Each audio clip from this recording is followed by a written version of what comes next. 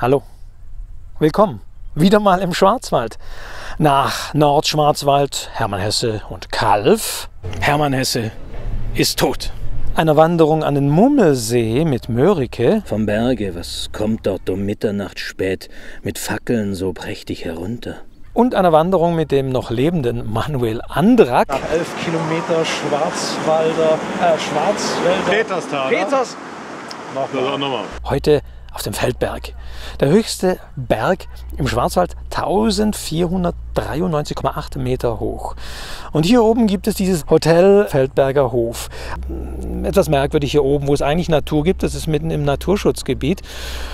Aber ein Buch versöhnt einen etwas mit diesem äh, Hotel hier, nämlich das hier. Das ist das Buch äh, Winteräpfel von Heidi Knoblich das sie vor zehn Jahren geschrieben hat. Und darin ist die Hauptfigur Fanny Meyer. Und Fanny Meyer war, wenn man so will, die erste Hotelmanagerin hier oben.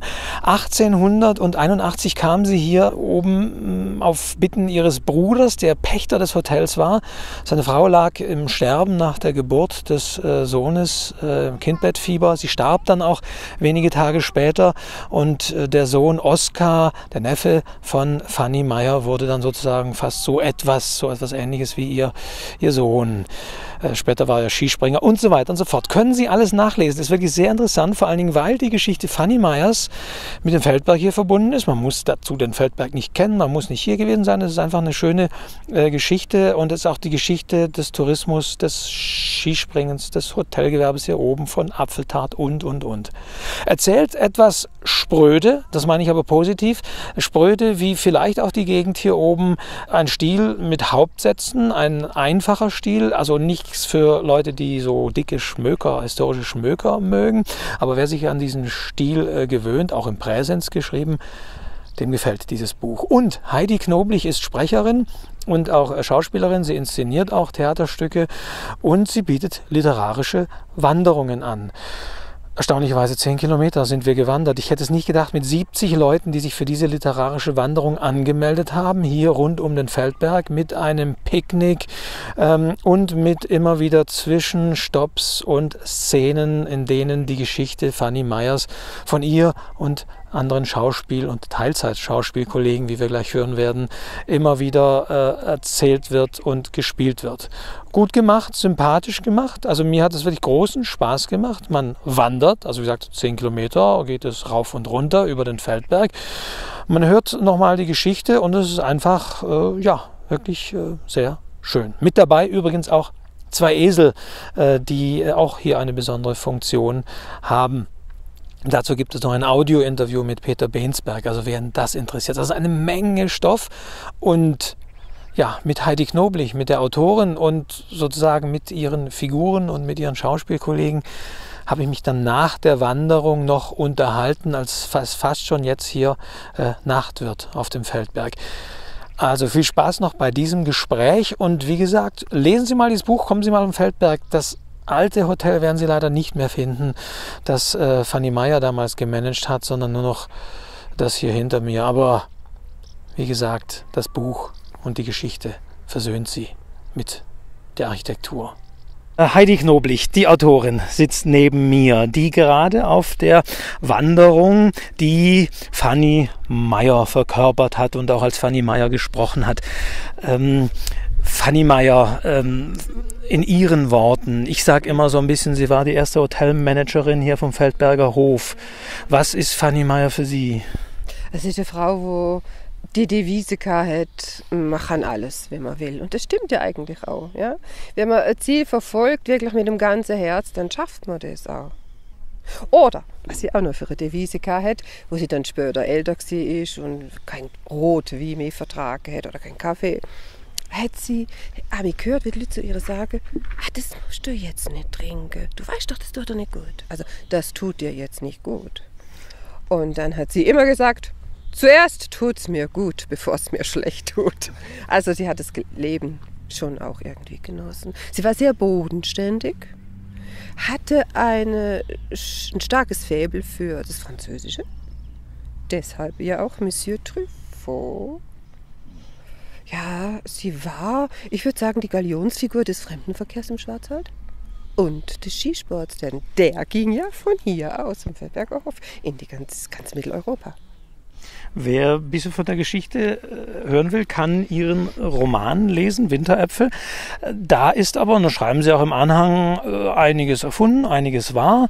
Woher wissen Sie denn alles über Fanny Meyer, was Sie sowohl auf der Wanderung heute erzählt haben, als auch im Roman eingebaut haben? Das sind viele Jahre der Recherche, muss ich dazu sagen. Also, was im Buch steht, diese Liebesgeschichte, die habe ich erfunden, eben wegen diesen, dieses Fables für, die, für das Französische. Aber was im Hintergrund spielt, das ist alles recherchiert. Also die Entstehung des Fremdenverkehrs für, ganz, für den ganzen Schwarzwald, die Entstehung des Skisports für ganz Mitteleuropa, das stimmt alles. Also die Geschichten im Hintergrund stimmen alle. Aber ich habe gedacht, hier oben, wo es sieben Monate nur Winter und fünf Monate keinen Sommer gab, da braucht sie einen, oh, dringend einen Franzosen. Ja, um auf Ihre Frage zurückzukommen. Das ist eine komische Geschichte. Die, die Lebensgeschichte der Fanny Meyer ist an mich herangetragen worden. Es war natürlich noch, wie man im Schwarzwälder, wie man bei Schwarzwäldern sagt, ein magri Geiß. Ich musste die noch sehr stark auffleischen, aber alles mit authentischen Geschichten, mit Anekdoten. Ich habe mich viel unterhalten mit Leuten, die auf dem Feldberger Hof waren. Also angetragen wurde mir die Geschichte von Oskerles Enkel der leider vor ein paar Jahren verstorben ist, Thomas Lexer. Er hat mir das eigentlich so ans Herz gelegt und hat gesagt, da musst du was draus machen, denn die war so ein bisschen Video. Und ich habe da wirklich ein paar Parallelen gesehen. Und das war auch der Grund, aufzuspringen auf diese Geschichte. Ist sie also ein bisschen netter in ihren Romanen, als sie in Wirklichkeit war? Hat sie ein bisschen so mit harter Hand dann äh, das äh, Regime hier oben geführt? Naja, die Mädchen waren alle glücklich hier oben, es war eine Ehre hier oben arbeiten zu dürfen. Sie hatten keine andere Wahl, der, entweder in einen Haushalt zu gehen oder in der Fabrik zu arbeiten. Und sie haben ihr ja Mutter gesagt. Mutter. Also sie war sehr gebildet, sie hatte auch viel, nicht nur Geistesbildung, sie hatte auch Herzensbildung. Und das haben die Mädchen, 120 Mädchen, haben das gespürt und äh, haben sie Mutter genannt. Ich weiß nicht, sie war schon ein bisschen streng, sie hatte hohe Ideale, aber sie war auch herzensgut. Also bei ihr gab es Theater, Musik und Tanz und sie hat auch für viele Feldberger Hofmädchen äh, die Aussteuer gezahlt. Ja. Nun haben Sie ähm, aus dem Buch, es gab, glaube ich, haben Sie jetzt während der Wanderung erwähnt, glaube ich, sogar noch irgendwie eine schon mal eine, Dramati eine dramatisierte Fassung. Und aber es gibt das Buch seit zehn Jahren.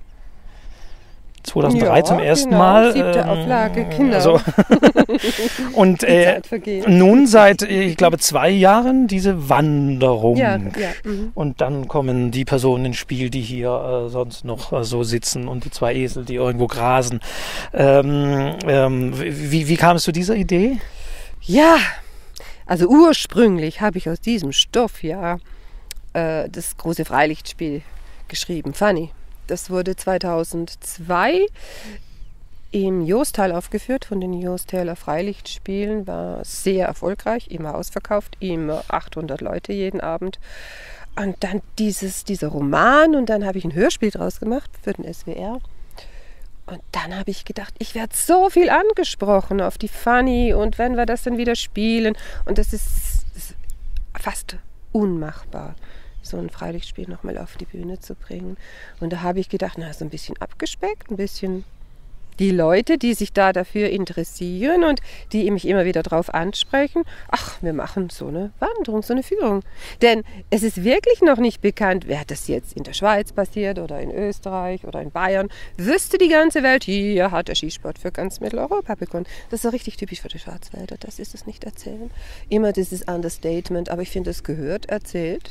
Ich wollte von Anfang an, dass die jungen Skifahrer und Snowboarder am Feldberg wissen, wo eigentlich bei Ihnen das alles angefangen hat. Und Fanny Meier hat eigentlich keiner mehr gekannt. Und jetzt äh, strahlt sie doch wie ein heller Stern.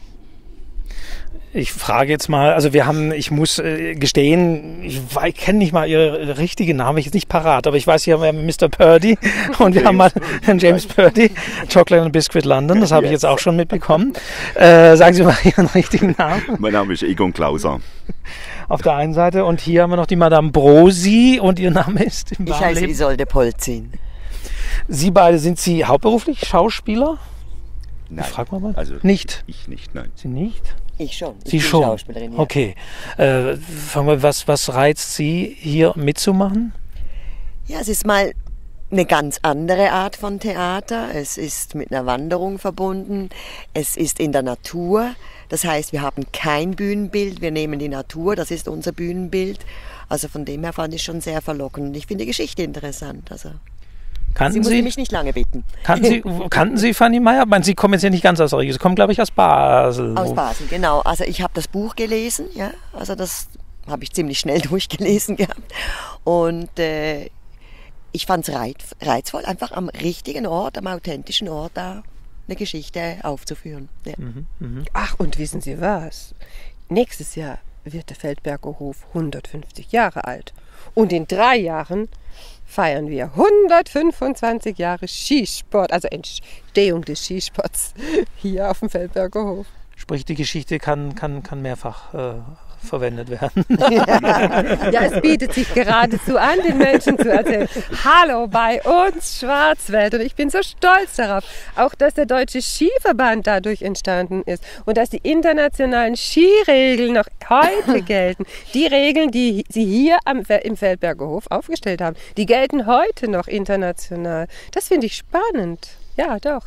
Ich bin schon irgendwie so berührt von der ganzen Geschichte und ein bisschen stolz auch drauf, so, dass das die Schwarzwälder das alles zustande gebracht haben, dass alles von hier ausgegangen ist.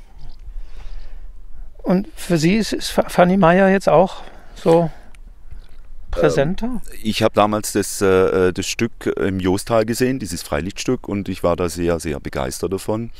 Und äh, wie mich die Heidi Knoblich dann gefragt hat, Mensch, äh, würdest du mitmachen? Und ist ja nur ein kleiner Spaziergang.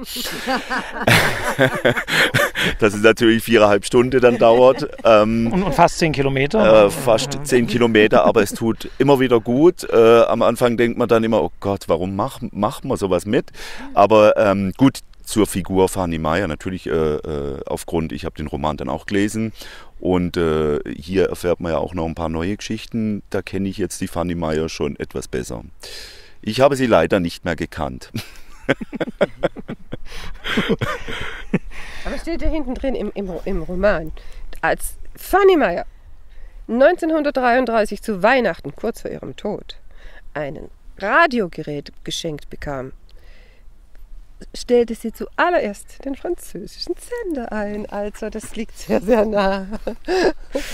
Also, ich äh, danke und ich denke, sollte man äh, lesen, diesen Roman, man kann ihn also auch erwandern. Also, wenn, dann steht es auf heidiknoblich.de, äh, wenn man hier mitwandern will. Und äh, Sie haben zumindest bewiesen, dass Sie sozusagen auch eine Autorin sind, die die Figuren bewegen kann und, Alles, wenn man und auch will. die, die Schauspiel- oder, oder äh, Teil, Teilzeit-Schauspielkollegen zum Wandern bewegen kann.